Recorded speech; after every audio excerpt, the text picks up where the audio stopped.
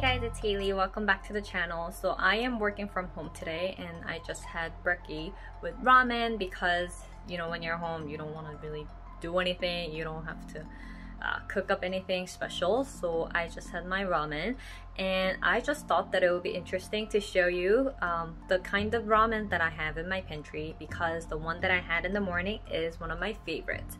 So um, just to give you a small heads up before I show you the pantry is that it's very messy. I haven't had the time to really like clean up and honestly my mom is arranging everything so I don't want to you know touch anything and upset her.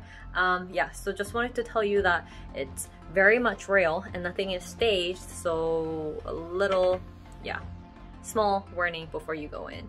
So let me show you my pantry.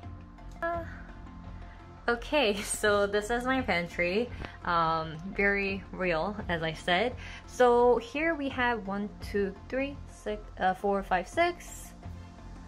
Uh, and then over here, seven types of ramen. Um, these are the types of ramen that we usually stock up. Um, there may be, you know, plus one or two more that we stock up, but this is basically our favorites. And this is what I had in the morning. Sari Gomtang. And this is something pretty special um, because it's non-spicy uh, ramen, which is unusual because everything that Korea has to offer has um, some sort of pepper, pepper paste in it. So it's pretty special. Um, this is to mimic uh, a beef broth um, in Korea. It's called gomtang.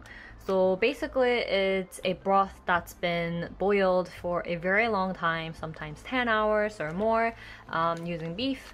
And I usually really love the soup. Um, it's good for your stamina, good for energy. So a lot of people um, have it when they are hungover or when they need, you know, some good energy.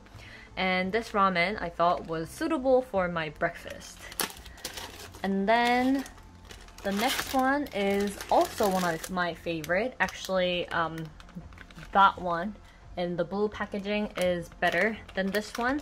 Uh, but basically they are the same kind of different brands. It's called 비빔면, 비빔면, which is basically mixed noodles. Uh, and what it is is noodles without any soup and it's with spicy, uh, spicy and sour, sweet and sour spicy paste.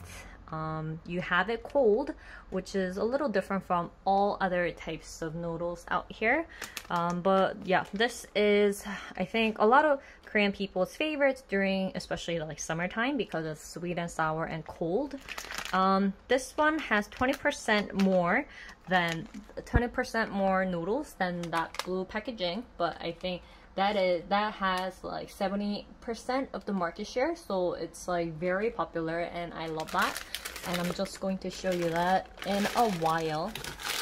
Well we got this type as well because um, this one without soup feels like it's not enough for one serving so we tend to have uh, two packages of uh, the blue one so it might be better to just have one, which has like 20% more uh, noodles in it.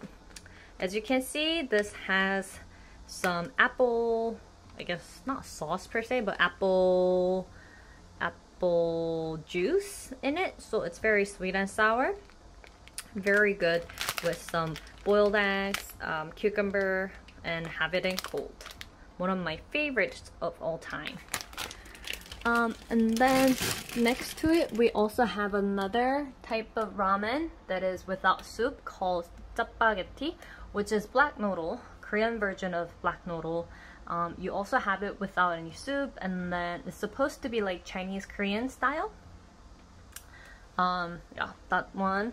And then this one is also pretty special because it's without any sauce. And so basically this is just fried noodle that you boil and then that becomes noodle, right? And the reason why we have it is that we don't have it on its own. We have it in our main dishes like jjigae or soup and then we also have it in some of our like boiled and stir-fried dishes because we just love to have ramen as topping in all our dishes. So um, even our family stock up that version, um, just like blank fried noodle to um, add as topping to our dishes and it's always in our pantry.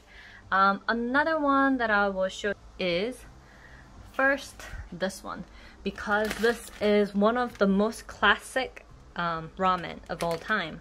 Jin ramen.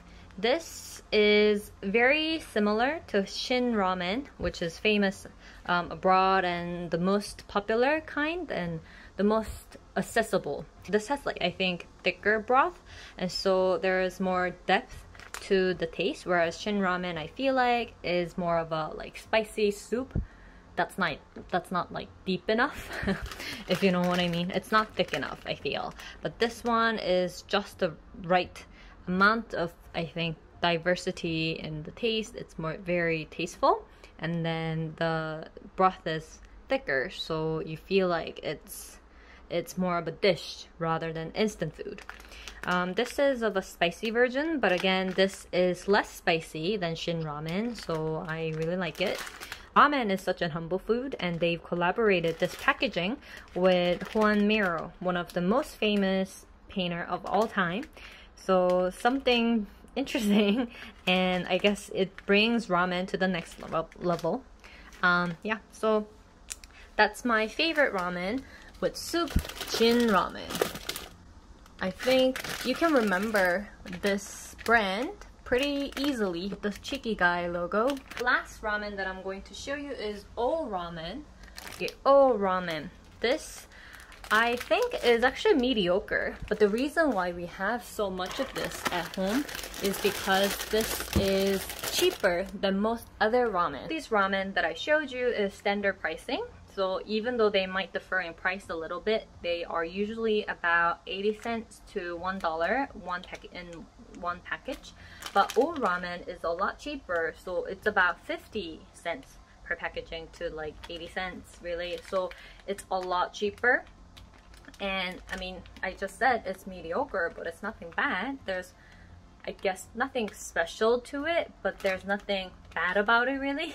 So our family has a big stock of O ramen. These are ramens that are not readily available abroad, but I still wanted to show you because these are more varieties and very different from the ones that you might easily get. And so I just, you know, wanted to show you that there are different types and varieties. And if you have a chance, I'm sure, I'm almost sure I'll, I'll Google and then um, right in the description box below but I'm pretty sure you can find them online and ship them to your country if you like. Um, so yeah I just thought that you might like to try out. So these are my favorite Korean ramens of all time and I hope you enjoyed it.